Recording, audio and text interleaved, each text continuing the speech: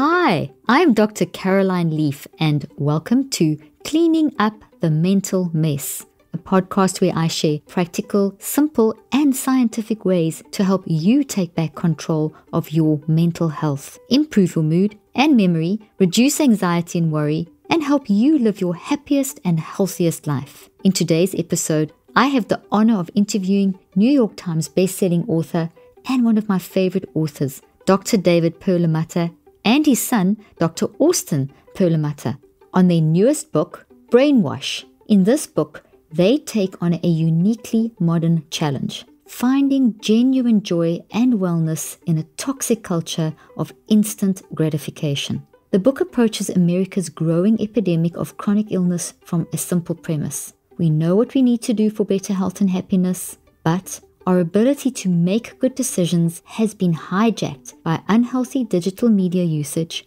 processed food, lack of sleep, chronic stress, and other aspects of modern life, and our physical and mental health is suffering.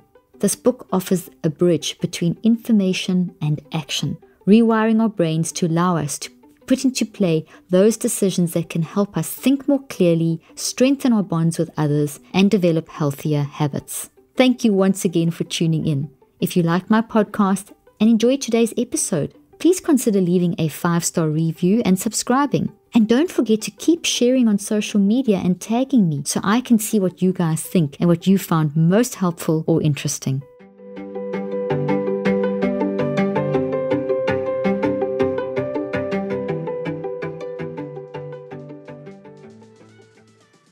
If you love listening to my podcasts and want to take your mental health healing journey to the next level, then I want to invite you to my 2020 Mental Health Solutions Summit, December 3rd through 5th in Dallas, Texas. The core focus of this conference is to give you simple, practical, applicable, scalable, and scientific solutions to help you take back control of your mental health and to help others and to make impactful changes in your community you will learn how to manage the day to day stressors of life, as well as those acute stressors that blindside us.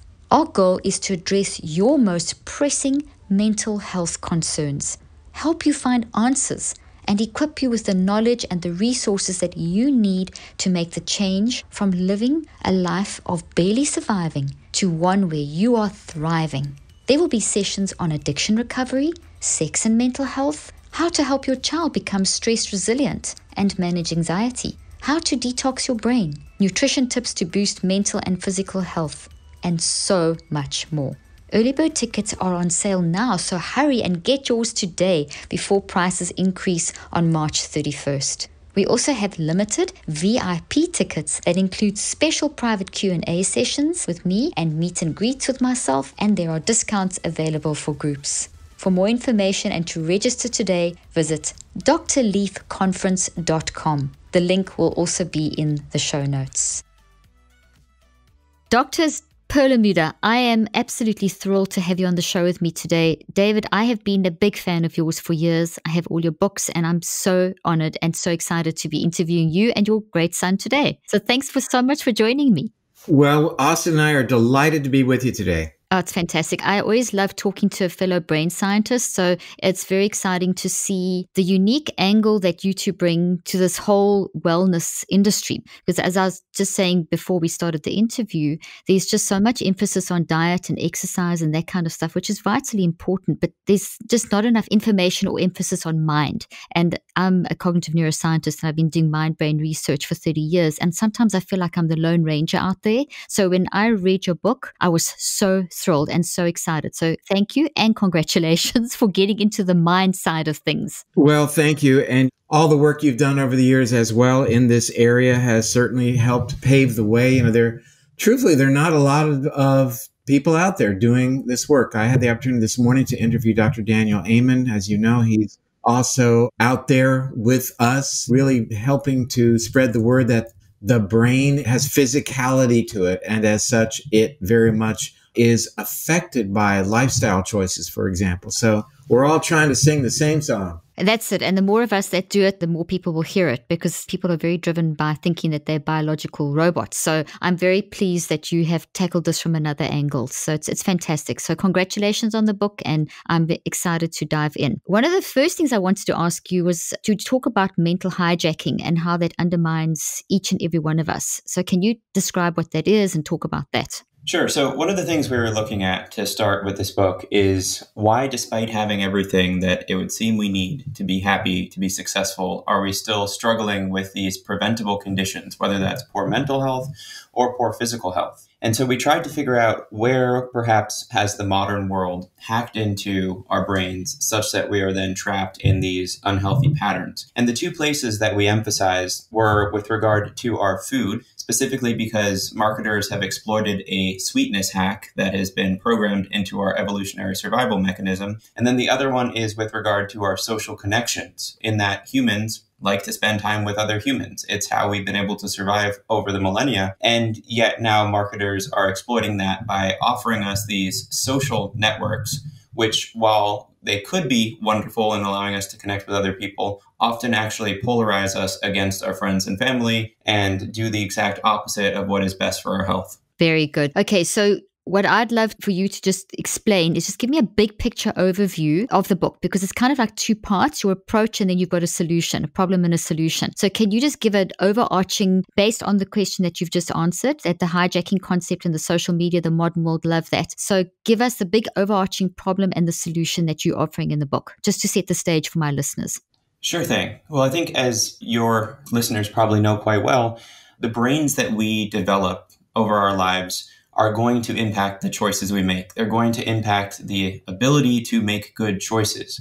And we wanted to parse this out and help people understand what are the factors that are contributing to making our brains less likely to make good choices. So the first half of the book is basically explaining how aspects of the modern world have hacked into our brain circuits or have altered our brain circuits such that we're no longer able to make good choices. And then the second half of the book is explaining how we can, in essence, wire our brains so that we start making better choices. And it's talking about aspects like nature exposure, meditation, exercise that we can utilize in order to, again, wire our brains for better decisions. In doing so, we make it far more likely that we reach those outcomes we care about good health and better well being. Excellent. I love that. And I love how you say that as well in your book that there's a gap between the knowledge and the action. So, can you talk about that? This is uh, David. And as Austin said, this disconnection in fact that's what we call it in the book is disconnection syndrome is really taking the the more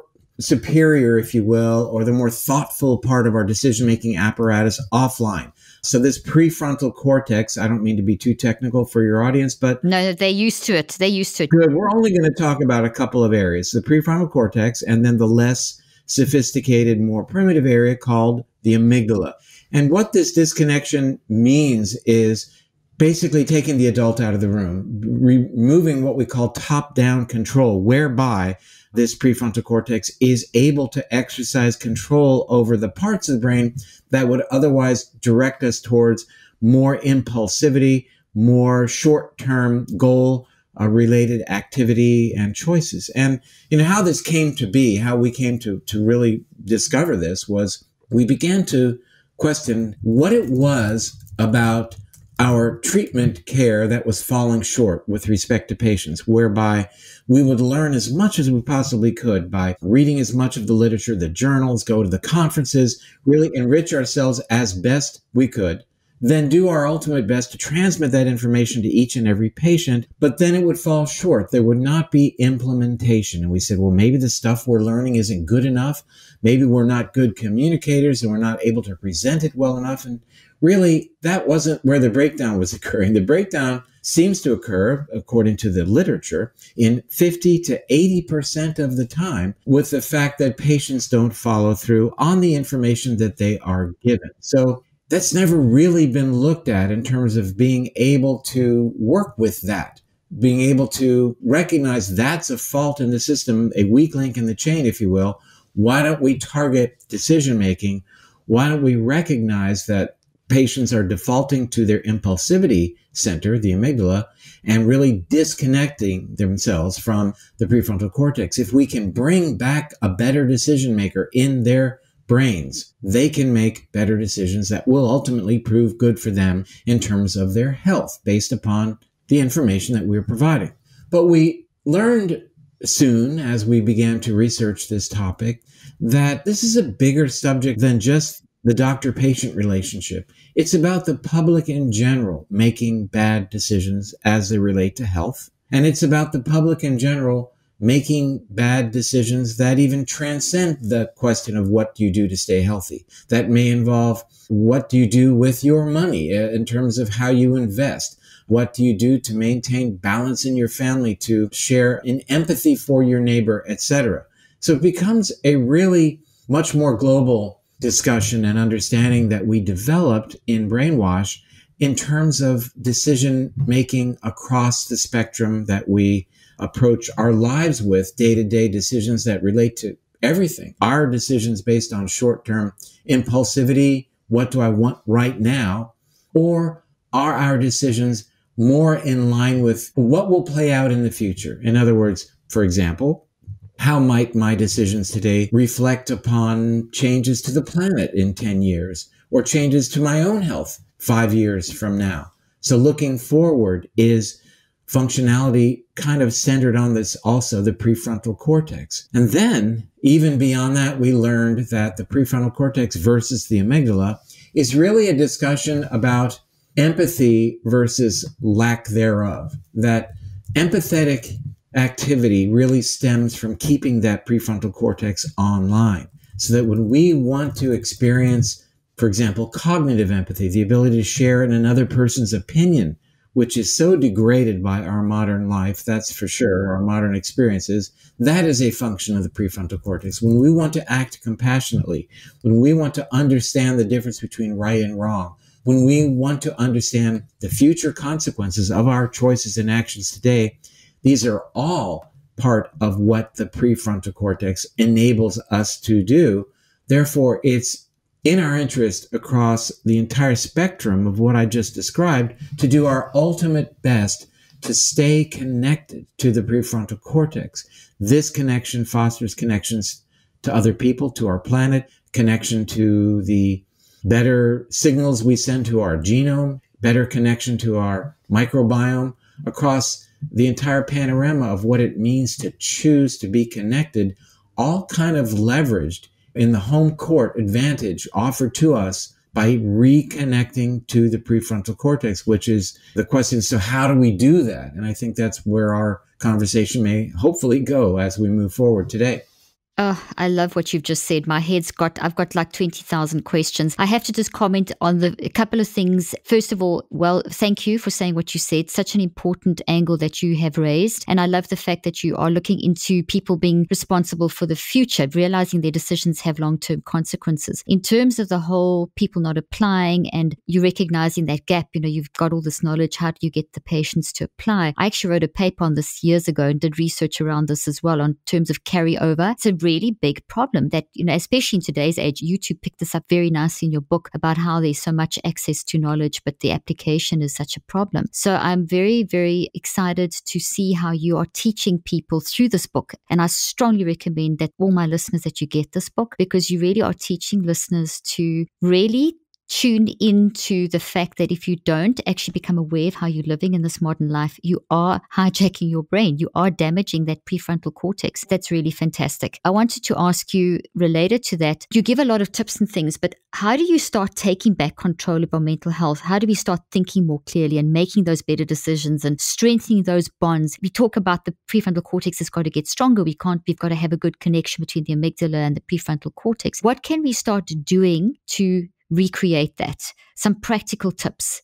One thing I would really want listeners to think about is that modern world has been set up for instant gratification. So there's always going to be something that seems like the best choice in a given moment, whether that's opening a social media app or eating a piece of junk food. What we need to do is start getting away from that. And for better or worse, the stuff that leads to long term happiness is never about instant gratification. It's about creating long term solutions. So this isn't something where you're going to overnight be able to wake up the next day and all of a sudden your life is fixed. With that said, what the research suggests is that there are a couple of things that we can do that will lead to pretty immediate benefits in our cognition and shifting our thoughts to the prefrontal cortex. One of the most interesting of those, and the one that I've been recommending the most, is actually getting one night of good sleep. So I want to, again, caution people, telling them everything won't be fixed overnight, but some stuff might actually, because it turns out that just getting one night of good sleep seems to lower our emotional reactivity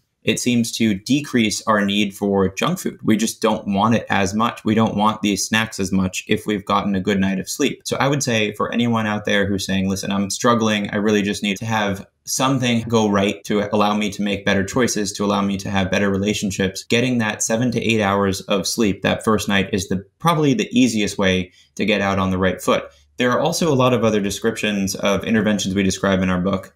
And one of the more interesting ones, uh, actually, we just presented at a conference the other day, is how even 10 seconds of exposure to a natural environment has been shown in a study to improve decision making as it relates to being less impulsive. And that was just looking at a picture of nature.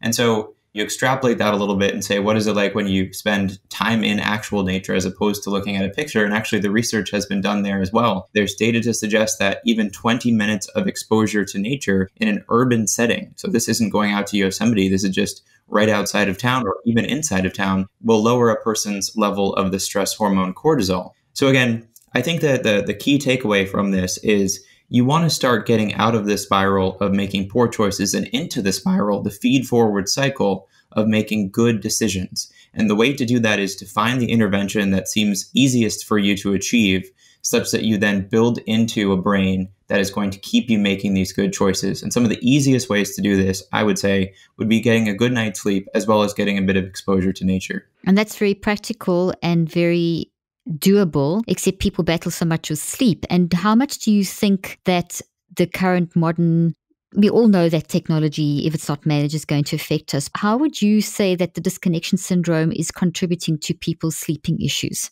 Sure. You make a really good point, which is that technology is affecting our sleep. The easiest way to understand why this is happening is simply that people are awake on their technology when they could be sleeping. And this is clear throughout children, adolescents, adults.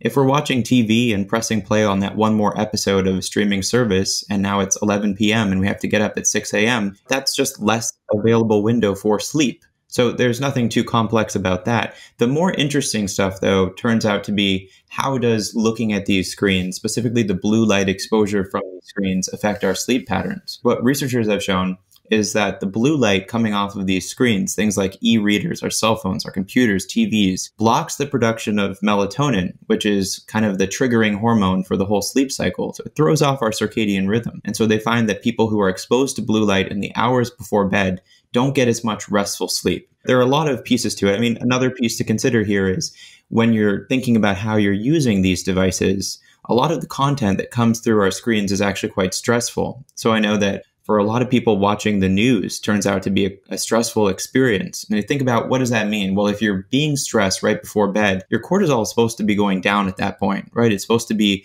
reaching its lowest point at around midnight and then coming back up to help you get ready for the day. But if you're stimulating that stress, that fight or flight response, which goes through again the amygdala, you're basically telling your body, hey, there might be a threat. You know, whether that's coronavirus or a terrorist attack, chances are that's not going to happen in your living room or in your bedroom overnight, but your brain is not really designed to understand the nuance of that. So it might be sitting there while you're laying in bed saying, we're not going to sleep because again the coronavirus might sneak through the front door and we've got to be ready for that i know that you have a statistic in your book of a study that uh, 40% of people's stress is coming from the political situation so if they're reading the news just before they go to bed that's going to guarantee that they've just changed their stress levels and created that whole negative cycle that you've just described. You hone in on a, a very important point about this instant gratification, quick fix mentality, pop a pill kind of thing. And that's really, I found that in the work that I do, that's really a, a significant thing. Everything is fast. Amazon does well because they can, it's like one click of the button and you get your stuff. And so we've conditioned ourselves culturally to be instantly gratified. And I know from the clinical trials that I'm doing where we look, we actually use the QEEG and have also found that the, we didn't call it disconnection syndrome, but we've also seen that the, just the way that the gamma wave becomes overactive and starts spiking when it shouldn't. And for those, just to understand, for those listeners that don't know what a gamma wave is, it's when your brain goes into a very high level of deep thinking, you get different energy flowing through your brain. And gamma is when you are actually learning and integrating information. It's great energy to have. But when you are doing what you're hearing David and Austin explaining this quick fix mentality, this worrying about the news and getting stuck on your cell phone and the blue light, you actually disrupt that flow of energy in your brain and it really does upset how you function. I'm very, very pleased that you're talking about these things and showing the impact on the brain. Because I think in our instant gratification society, we're not realizing that what we're doing is having major physical effects on how our brain is actually functioning. Would you like to speak a little bit about that? That is so true. You know, you bring up a very good point. And again, the idea of gratification is really kind of perpetrated upon us that if I can only get this, buy that, have this or that, then I will be content. But people are not content.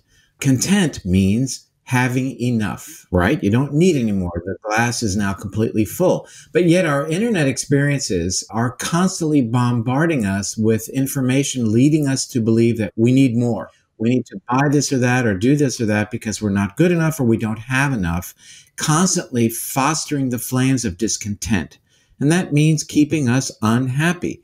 We're not going to be content as long as we give in to this. We need to really break that cycle. The more we do it, the more we wire our brains for unhappiness and being discontent because those neuron pathways, neuronal pathways ultimately become much more strategic and much more indelible, though not fully indelible. The Dalai Lama told us that the brain we build reflects the life we lead. And that is basically an understanding of the science of neuroplasticity that the more we choose to do something, the more we will wire our brains in favor of being able to accomplish that task. The more we engage in empathetic behaviors that demonstrate gratitude, behaviors that are good for us, and there's nothing wrong with that, that's for sure.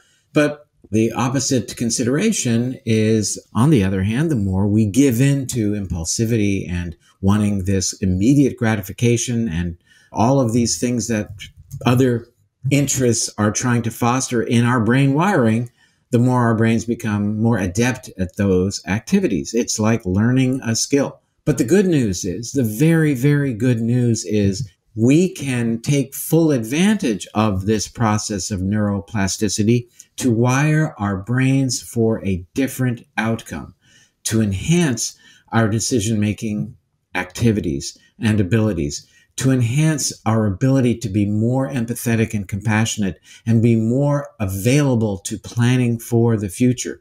We just have to get started. And as Austin offered up earlier, simple on ramp for an individual may vary depending on what is easiest for that person. In the book Brainwash, we describe a 10 day program not to say that you have to engage in every aspect of that program, but the simple on ramp for you to momentarily increase your ability to make better decisions might be, as Austin talked about, a better night's sleep. Or it might be getting out in nature or even bringing nature into your home in the form of a potted plant. However, a person chooses to on ramp towards better decision making will then moving forward make the next step, the next part of the program that much easier. And again, Austin talked about these feed forward cycles. We take advantage of that one step at a time, get the door opened just a crack. And then before you know it, you're able to look at your diet, look at your sleep patterns, look at your exercise, your nature exposure, bringing meditation on board, developing a gratitude journal, all of these components that allow you to actually reject what is happening to your brain wiring and reconnect. And that is the brainwash that we are looking for. That time of the month can already be an annoyance, and buying safe tampons or pads just makes things worse.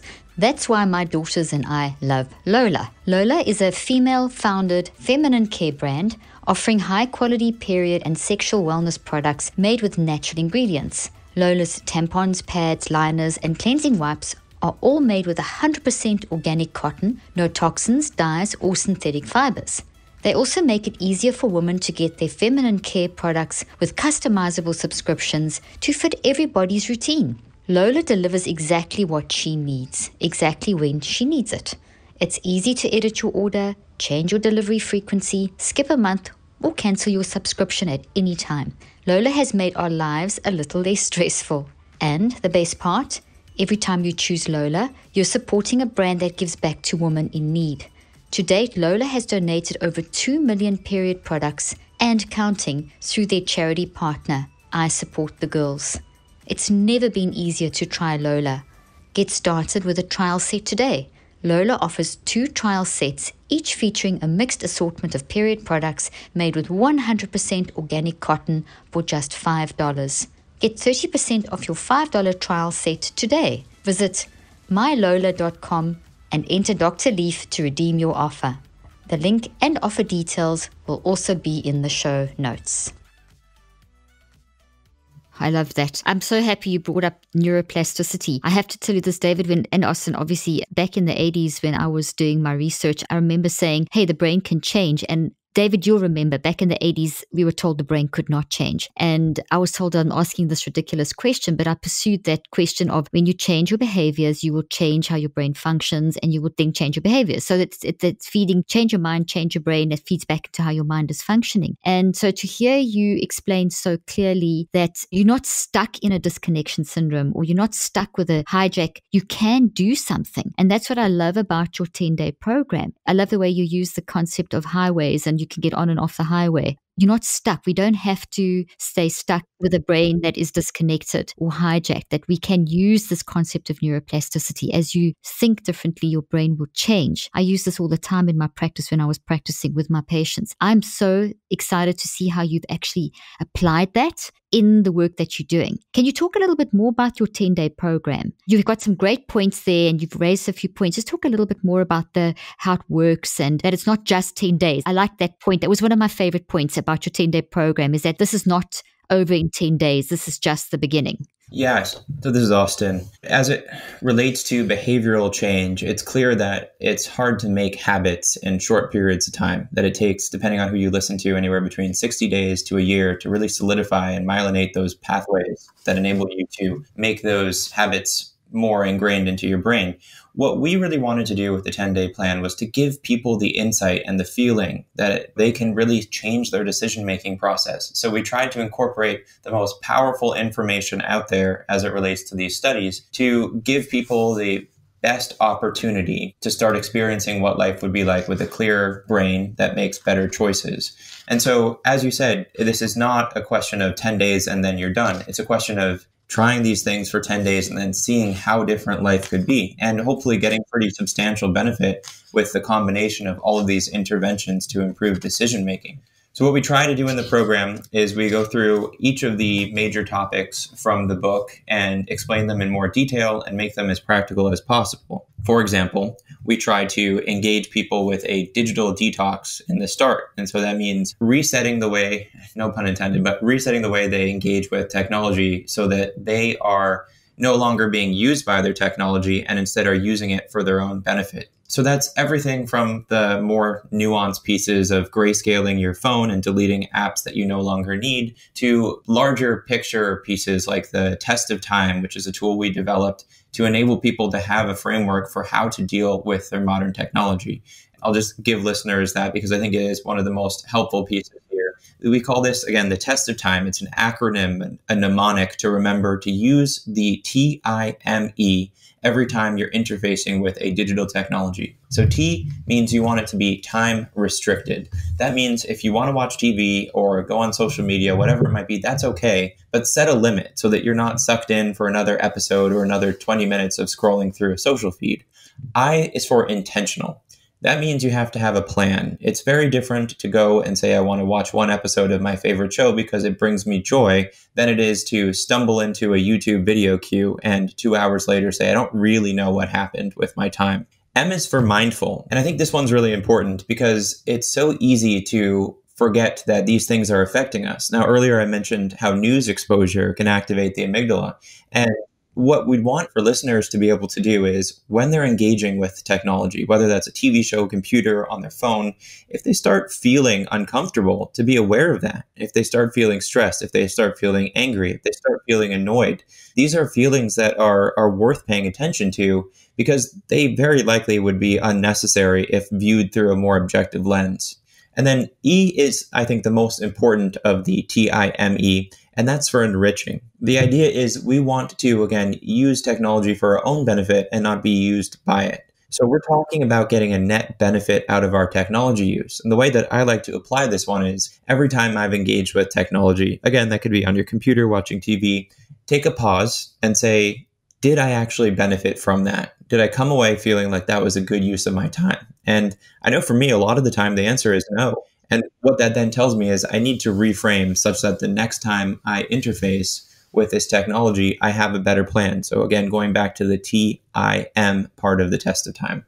That is so helpful. And it's just so relevant to this day and age because technology is a fantastic thing, but it's once again how you are making decisions about that. And that's core in your book, isn't it? Throughout the book is decision making, poor decision making, and how our decision making can become hijacked. And then the whole wonderful good news of neuroplasticity that when we choose to change, we can actually change our decision making and change the way that our brain functions. So, I mean, that's really fantastic. I, I really love that comment pick up on that theme because there's so many wonderful books out there by people that you and I know and respect. They're terrific books. And your books and my books, they're all useless. What do I mean by that? It means that you can have the most wonderful library, watch all the programs, etc., but they're not going to do you any good unless you implement what you're learning, unless you put it to use. And that's where the breakdown occurs. It's about the decision making. And I think it's really moving forward a hugely important area to focus on because as it turns out, the very same lifestyle issues that relate to chronic degenerative conditions like heart disease and mm-hmm. Alzheimer's and cancer and diabetes are at play in disconnecting us from good decision making. So this is looking at things like inflammation brought mm-hmm. on by our food choices, inflammation brought on by lack of sleep or non restorative sleep, higher levels of stress with higher levels of cortisol, all of these factors that your listeners have been hearing from you for many years. But all of these factors are at play now in terms of our ability to make good decisions in the first place. So while your listeners may know that maybe they should be mm-hmm. cutting back on their refined sugars and ultra processed foods, etc., that while they know this stuff, it's the action part that hasn't received any attention. And we are really all in for empowering your listeners and anyone else who's going to listen to regain that ability to, you know, we don't suffer from a lack of information these days. We pretty well know what we need to be doing. It's just that implementation part, making the decision that is, frankly, from a clinician perspective, what we've been blaming uh, patients about for years. Why didn't you do this after I told you? And truthfully, people blaming themselves as well, looking themselves in the mirror saying, why in the heck? You know, I read Dr. Leaf's book. I know it's great information, but darn it, I just don't do it. I must be a bad person. But the reality is, stop the self blame when you realize that you have been robbed of the tools to put that information into play. So it's really about offloading blame and regaining connection to the decision maker. Mm, oh, you explained that so well. That is fantastically important. And while we're on that route, I'd love to talk about the inflammation that is linked to when we make bad decisions. I mean, that's something that I teach my listeners a lot is that our mind decisions, it's not just the lack of sleep that we know that causes inflammation. We can understand that eating the modern American diet is bad for our brain and can cause all these problems in our body. And I try and teach my listeners, and you've really honed in on this now, is that our mind is also changing the physical reaction in our body. Like our brain and our body will respond to a virus in our body or to that chemical that's poisonous our thoughts are also doing the same kind of thing to our body. And you actually quote, I'm just finding that point here. You talk about the fact there's a, there's a study that you quote where you can actually induce inflammation with depressive type thinking within seconds, which is what I've also found in my clinical trials. That just the minute that you start thinking in a toxic way, we see a complete shift in the way that the energy flows through the prefrontal cortex and the amygdala. We see high beta, we see the wrong kind of energy flowing and it's instantaneous. And then when you give people good decision making, when you give people, I call it mind management techniques, we see the change in energy and we see the change in inflammation almost instantaneous when we look at the neurophysiology. I know this is also your area, David and Austin. Can you just elaborate a little bit on that? Maybe talk about that depression study and the relationship to inflammation, Absolutely. And even more compelling is the research showing that if you induce inflammation transiently by giving an injection of either LPS, which is it's lipopolysaccharide, but it's a chemical, oddly enough, that happens to cover some of the bacteria that live in the gut. But it turns out to be what researchers use both in the laboratory, in vitro, and also in vivo in humans to induce inflammation fairly rapidly, or uh, typhoid immunization. Both of these have been demonstrated to immediately disconnect, immediately disconnect from the prefrontal cortex and increase activity are associated with increased activity of the amygdala. So you're basically inducing disconnection syndrome in lockstep with increased markers of inflammation that are measurable. So this whole notion that depression, for example, is an inflammatory disorder is in line with what we're talking about. It, like the other chronic degenerative conditions, is related to inflammation, which is related to some of the choices that we make. Because if you've got a brain, I mean, you've explained that beautifully. So if you've got a brain that is inflamed, the energy doesn't flow properly. What we saw in our clinical trials is that you get a drop in activity in the left hemisphere. So you get that alpha asymmetry. So I know you've looked at a lot of studies with fMRI and MRI, and you see a change structurally in the brain, and you see this disconnect. We're seeing it on the energy level as, as well. And we're seeing that there's a drop in activity, for example, in the left hemisphere, an increase in alpha in the right hemisphere. And that means that we've got a problem. If you get an increase in various different energy flow, there is a change. So, in other words, our thinking, as you're saying, is going to change the structure of a brain. And then that's a negative toxic feedback loop. Now you can't think clearly. So your decisions are, are worse. And then you increase that inflammation. So it's like a hamster wheel. So what you are giving in your book, if I'm understanding you correctly, is in this 10 day program, in the principles that you're teaching, you're giving people ways to get off the hamster wheel. This is Austin. I, I think that's completely accurate when a person bangs a knee or the knee gets swollen, we say you have a problem with the knee and that's why it's swelling. When the person's heart isn't working, we say you have a problem with your heart, let's work on that. And we treat these as diseases. These are conditions that we can look at what is causing this. But when we start making poor choices, we start having bad decisions. People look at that as, oh, well, you have a moral failing almost, that yourself is the problem as opposed to saying, well, wouldn't this, just like the heart or the knee, be a reflection of the way that your brain is set up and wired? And when we look at how conditions like depression and anxiety and all sorts of anxiety, PTSD, generalized anxiety, social phobia affect our thinking, affect the way that we see the world. And then we think about how the world affects the way that our brains are wired you see that it's it's not helpful to start or to continue using this blame paradigm where it's if you make poor choices or you're experiencing mental health, that is a fault of your own, as opposed to the way we look at problems in other organ systems. And as you mentioned, the thoughts change the way that we interface with the world. So let's say you're a person who experiences high levels of inflammation for whatever reason. That inflammation leads to depression.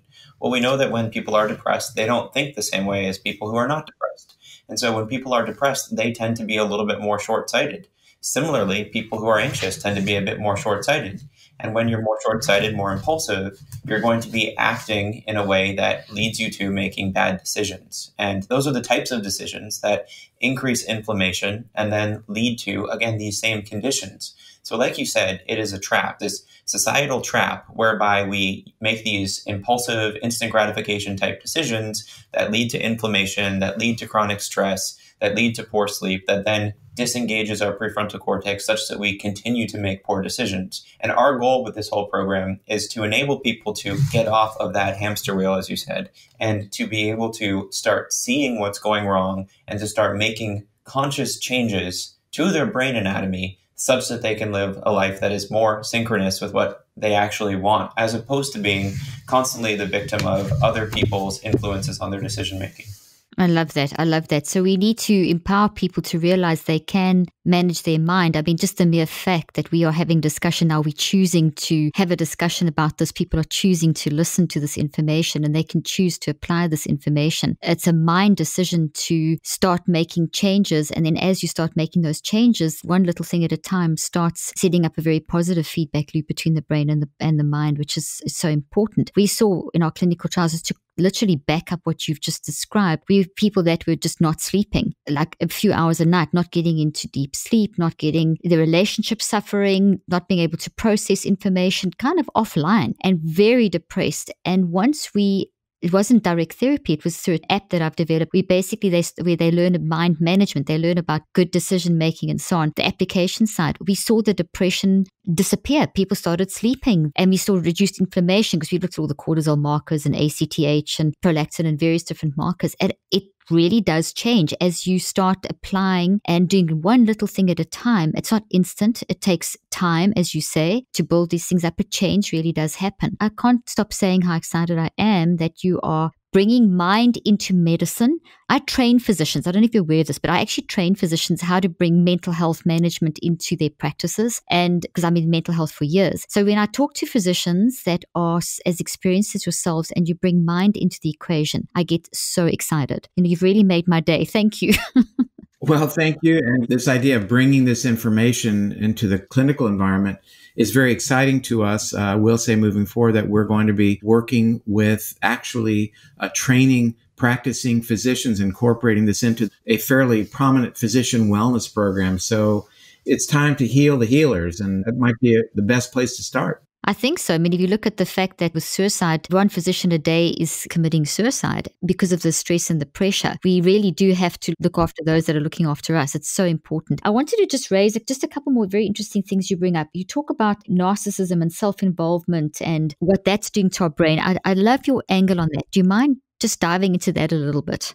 Sure. Well, we live in a society that seems to be increasingly valuing me over us and the advent of easy technology to put your selfies online and get certain amount of likes is not helping that. But I think what's more important than looking at that aspect of narcissistic behavior is what is narcissism? And it's an absence of empathy. And it turns out that a lot of research supports empathy in everything from general wellness to better relationships. As it relates to patient care, a substantial body of research indicates that patients with more empathetic providers do better. They're more likely to take their medications. And so we know that this trait, empathy, is, is so important. And it would be one thing to say, well, some people have it, some people don't. But it turns out, again, that we can actually create empathy, we can build empathy and there are interventions that are so simple that enable us to do that. It turns out, too, empathy, specifically cognitive empathy, or the ability to put ourselves in other people's shoes and see things from their perspective, is kind of an aspect that is fundamental to the prefrontal cortex. So that's why it's so exciting that all these interventions we talk about that activate the prefrontal cortex, that connect the prefrontal cortex to other parts of the brain, are also those interventions that are going to increase our empathy, our cognitive empathy. The interventions to increase empathy can be so straightforward. For example, gratitude journaling has been shown to increase empathy. Even just considering another person's point of view is an exercise in empathy. It's very straightforward. It doesn't have to be this whole complicated thing.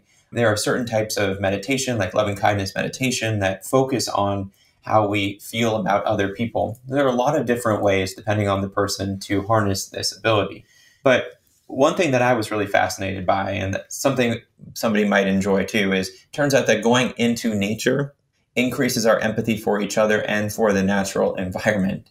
So there's really there's no excuse to say that it's too hard to develop empathy, but I think it does mean you've got to turn off the computer screen and the smartphone for a little while and just reach out. And that could be reaching out to a friend, a family member, or one of my favorites is having a conversation with a complete stranger and doing my absolute best to see what is it that this person understands that I don't? So I think that you can make this really straightforward, and that is to assume that we don't always have all the right information. Assume that you're always a little bit wrong, and then that opens the door to interventions to increase empathy by taking other people's perspective. Struggling to stay focused or with brain fog? If you're dehydrated, the ability to focus on one task almost completely vanishes. Thankfully, there is a solution to rapid hydration liquid IV. What makes liquid IV so effective? Cellular Transport Technology, CTT, which is the optimal ratio of glucose, sodium, and potassium, and delivers water and nutrients into the bloodstream. It's the perfect balance to help you hydrate quickly and more effectively than water alone. One stick of liquid IV in 16 ounces of water can give you as much hydration as two to three bottles of plain water. I always make sure to have liquid IV added to my water on days I know I need to focus, like today. I've been working on my new book all day, as well as recording podcasts. Thankfully, Liquid IV is helping fuel me through it all. Get 25% off when you go to liquidiv.com and use the code Dr. Leaf at checkout. That's 25% off anything you order on Liquid IV's website. Just go to liquidiv.com and enter the promo code Dr. Leaf to save 25% and get better hydration. That's liquidiv.com, promo code Dr. Leaf. Don't wait. Start properly hydrating today. The link and offer details will be in the show notes.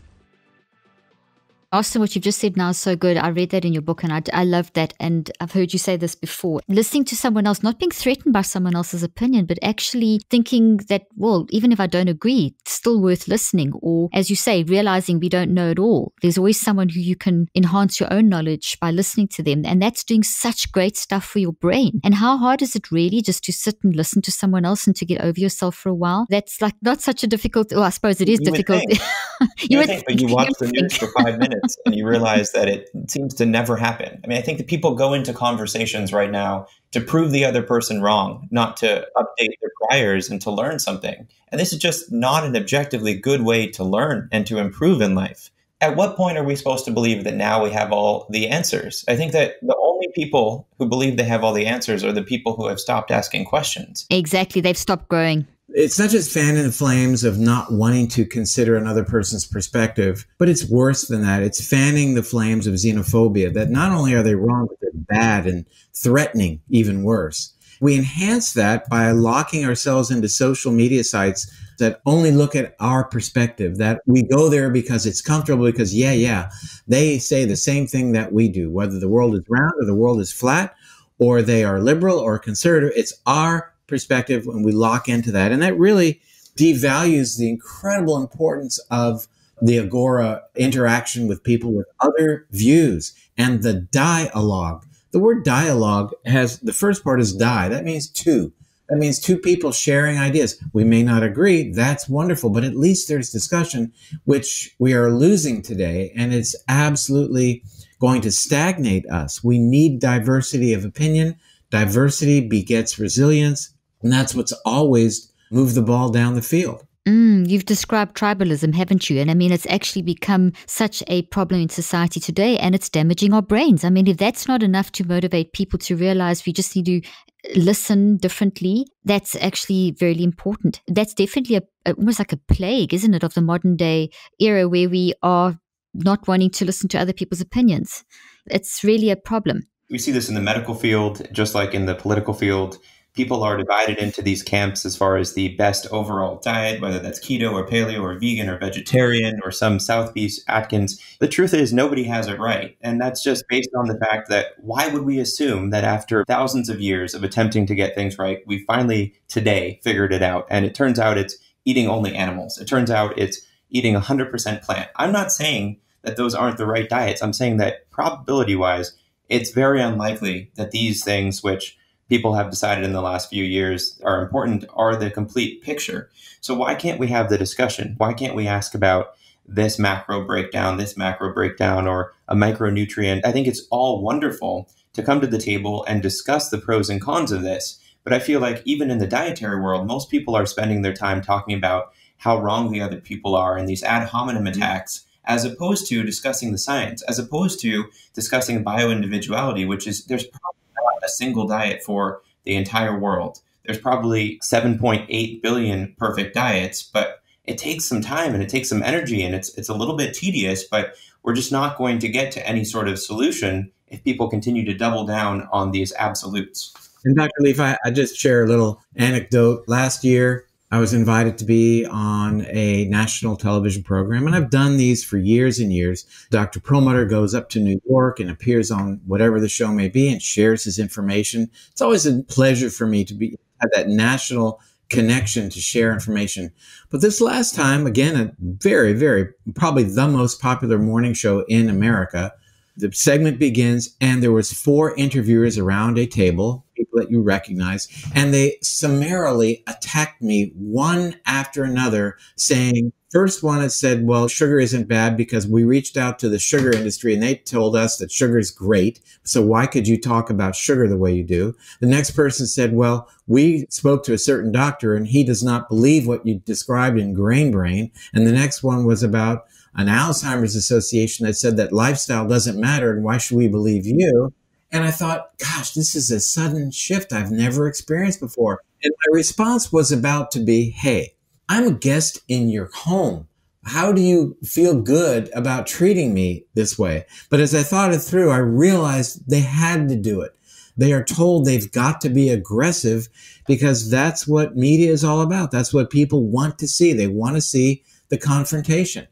And I submit that's not what we should be doing. The brain we build reflects the life we lead. If we can be listening to others' opinions and trying to be, dare I say, nice to each other, that is the brain that we will build, each and every one of us. So it's all about valuing this process that you described, neuroplasticity, absolutely a central thesis in Brain Wash. Oh, I saw that. That's why I love your work. And I'm, I'm sorry that you had to go through that. But as you say, that that reflects the times that we're in where things have just shifted away from trying to grow to trying to almost control and push an agenda, which is not what life is about enhancing each other, not competing with each other. And those people don't, I don't think they realize in attacking you how they were causing inflammation in their brain. So there you had one up on them, David. yeah. But I'll tell you something I learned from Austin a couple years ago it had to do with medical training. And he made a statement, and I think it appeared in one of his articles, correct me, Austin, if I'm wrong, but it was that doctors in training and in medical school are really pushed to higher and higher levels of achievement, but it's oftentimes at the under the paradigm of doing so while stepping on the shoulders of others and pushing other people down in order to get ahead of that person. It's this competition model so fostered. And hey, we all want the same goal here. Let's pull each other along as opposed to trying to get to the head of the pack by stepping on each other's toes. Oh, absolutely. I agree with you. There's one of my favorite, I do a lot in quantum physics, and one of my favorite quantum physicists is philosophizing quantum physicist. And he says that it's not about us, it's about us in the world. And it's so true. You know, it's not about us in the world. I'm sure you two are familiar with the study that came out of Berkeley about the more times you say I, me, myself, and I, you increase your chance of a cardiovascular event by 42% in the next 12 months. So here we are in a society that is encouraging me, myself, and I I and competing and arguing and like it's just about me, me, me. But that's the worst thing you can do for your brain and your body. So books like yours, the work that we are doing, what we what I do, what you guys are doing, and this fantastic book you've written is really trying to come against that.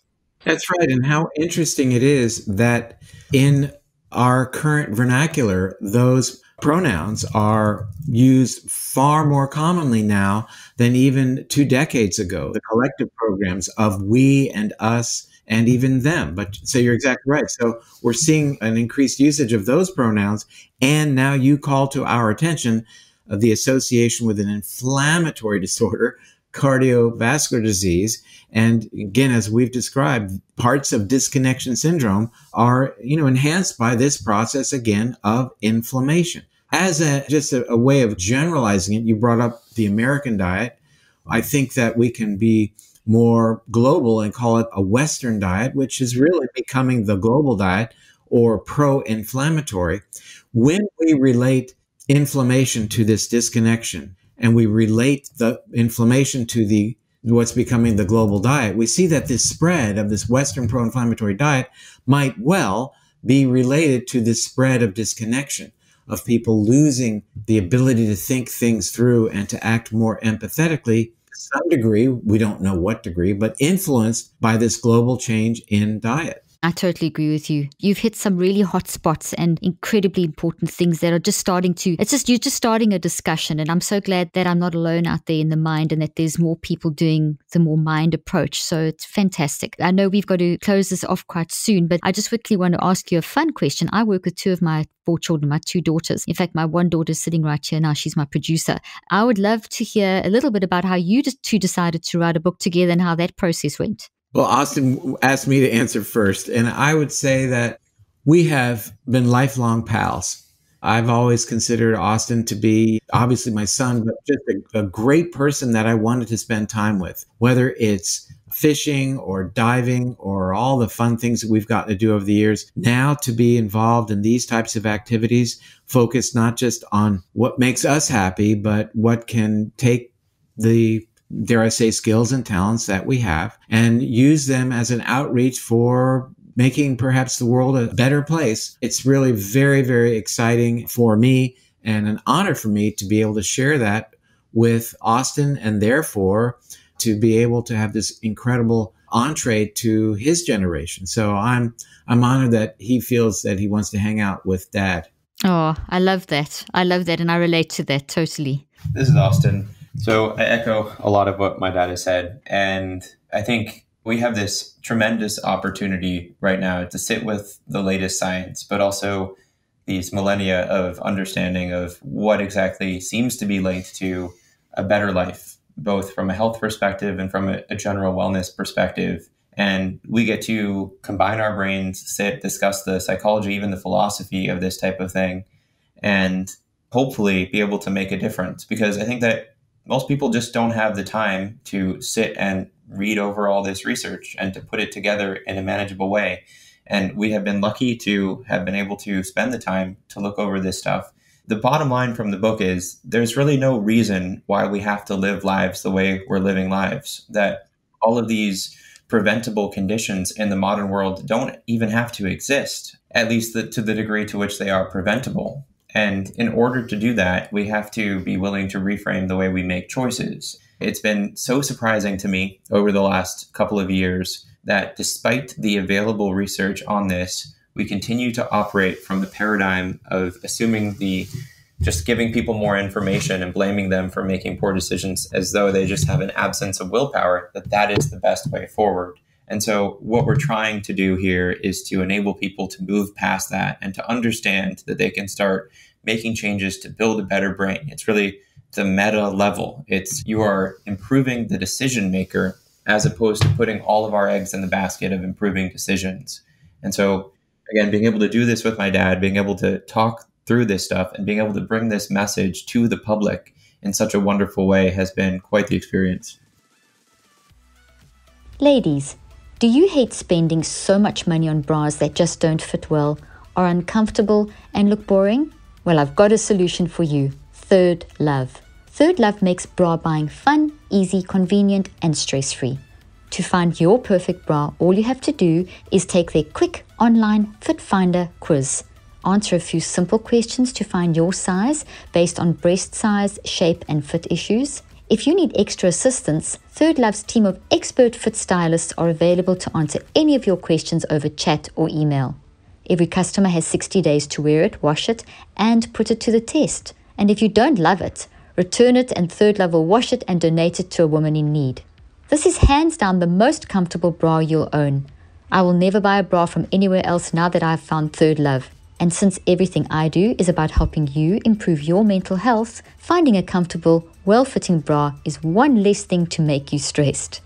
Third Love knows there's a perfect bra for everyone, so right now they are offering my listeners 15% off your first order. Go to thirdlove.com slash Dr. Leaf now to find your perfect fitting bra and get 15% off your first purchase. That's thirdlove.com slash Dr. Leaf for 15% off today. The link and offer details will also be in the show notes. I love that. In fact, you've applied all the principles of your book just in the creation of the book because you've used empathy and listening and you've reduced inflammation, you've done bonding, you've probably went out in nature, you probably sat out in the sun, you've done all kind you've eaten great food, so you've done everything. You've had great sleep because you got so excited that you worked late in the night and had incredibly deep sleep, restorative sleep. So you've done it all and created a, a masterpiece. So that's absolutely fantastic. Okay, so David, here's a question for you. As a parent of insanely smart children, what's one piece of advice you can give parents listening right now on how to raise smart, successful, and healthy children? Okay, and I'm going to make this as a retrospective. I'm from the perspective of maybe what I would we would have done, or at least I would have done, because I think I'm more to blame on this differently. And I think it's allow them to grow, reduce the constraints that I imposed based upon what I thought was important more free time in general in terms of education that there's great value to playtime there's great value to the physical part of your day. But i think to be uh, less less involved in constraining them to do things that we think are necessarily extremely important. I did want to say just in closing that i want to end this on a really really positive note for all of your listeners and that is that this is not difficult. It's just about getting started.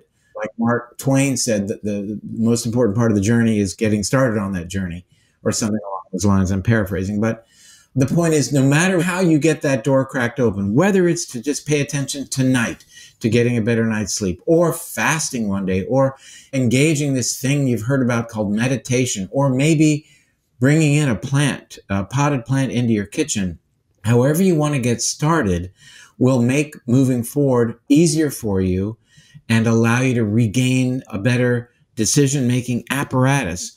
And I think that's one point that Austin has made throughout our time together writing this book and presenting the book. And that is that our decisions come from this physicality of the brain. And Caroline, as you have said over the years, that we can change that physicality. We can change our brains through neuroplasticity. It is not an immutable computer that only goes in one direction. In closing, the point should be a very much an empowerment based upon what we understand today in current science that, hey, there's an off ramp here and I can regain control and make better decisions moving forward, which not only should lead to better health, but happiness as well. Oh, I love what you've just said. It's just so important and, and it's just so encouraging and right. It's what you're saying is so right. I totally agree. And, and I know my listeners are responding very, very well to what you're saying. And thank you for saying that. Last question What are some wellness trends that you're both excited about and ones that have you concerned. So because there's a lot of trends out there. And you kind of touched on one, Austin, about the both of you actually about the diet. It isn't one diet. And I'm totally in your camp there. It's ridiculous when people say you can only eat one way. And that's one trend that is a concern. But in terms of you, you mentioned that, but are there any other wellness trends you're both excited about and ones that you're concerned about? I'll start. This is Austin. One of the things that has been a really wonderful change in the last several years is the increase of practices like yoga, meditation, and mindfulness. And so the CDC actually published a report recently showing that these practices have actually gone up dramatically. And so I look at that as people trying to take some steps towards reclaiming their mental real estate. Now, what is maybe tempering that a little bit for me is I don't love the idea of people saying, I want to continue my incredibly stressful life and find something to mitigate that a little bit.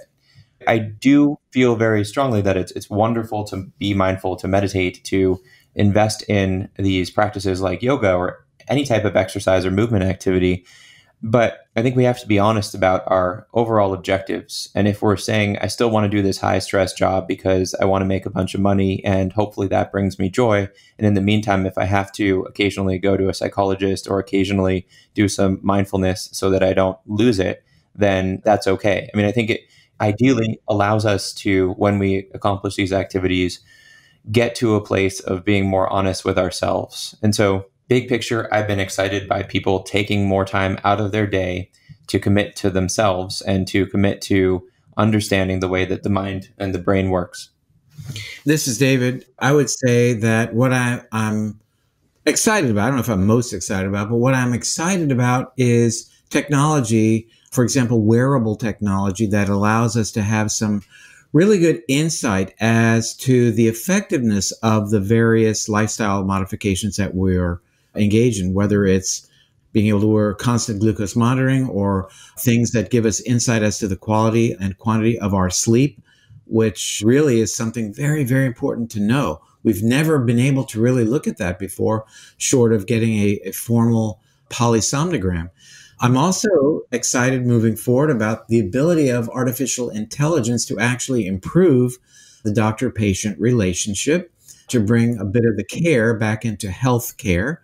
What concerns me currently, what I'm a little bit bothered by, is there seems to be a, a kind of a low level movement to embrace an idea that we should be eating exclusively meat.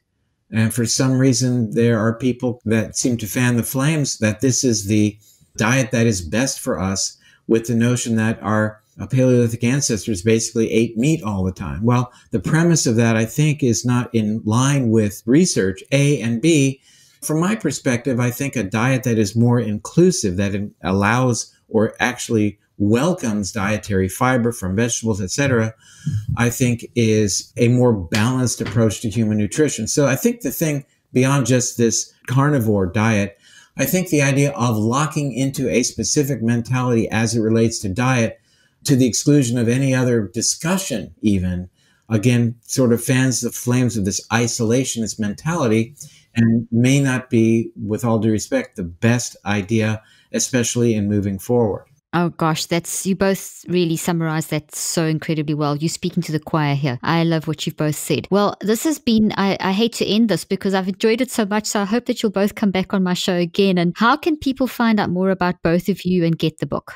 The easiest way is to go to brainwashbook.com. That's the website we're putting all of our studies from the book on and blogs. And if you do feel so inclined to look into buying the book, there are links there. But that's probably the easiest way to get a hold of both of us. My dad has drperlmutter.com, which is another good way to see what he's up to as well.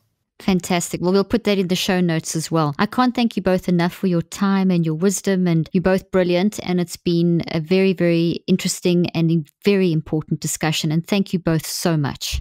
And Dr. Leaf, thank you for having us. And really, so much gratitude for all you've done over so many years you're still in the batter's box, walking the talk. So it's really very encouraging for all of us. Well, thank you so much for that encouragement coming from you. That's really very, very special. So thank you so much. And I, as I said, I hope you'll both come back on the show again. Love to. I hope you found today's podcast interesting and helpful. If you want more tips and help with managing anxiety, depression, and mental health, be sure to visit my website at drleaf.com and to sign up for my weekly newsletter, where I also include a schedule of my speaking events and so much more. And follow me on social media. I'm on Twitter, Facebook, and Instagram. Just look for Dr. Caroline Leaf. Also, I love seeing all your posts on social media about this podcast. I love seeing what resonates with you and what you've learned. So be sure to continue posting and tagging me and letting me know what you think and how these tips worked out for you. And don't forget, leave a review and keep spreading the word about this podcast. Thank you for joining me today. I really hope you learned something new and helpful. Till then, I'm Dr. Caroline Leaf.